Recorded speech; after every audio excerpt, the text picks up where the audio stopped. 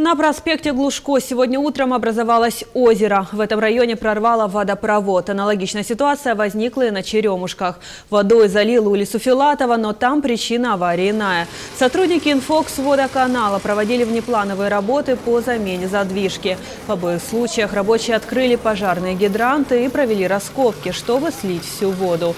Жители близлежащих домов до 7 вечера остались без воды. На месте одного из прорывов побывала наш корреспондент.